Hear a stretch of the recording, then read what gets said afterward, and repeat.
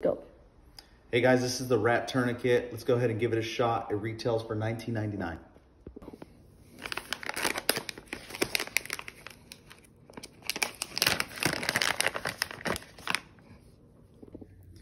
Got to put three finger loop right through to create your opening.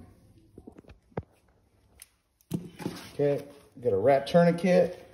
Gonna put two to three inches above the wound and make it tight, wrap it about for a minimum of three times.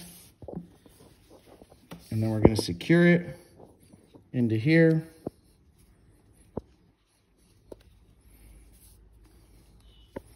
And then we're gonna mark the time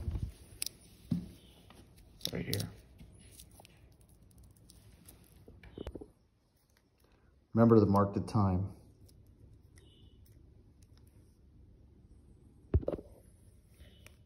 Never remove a tourniquet once you control the bleeding.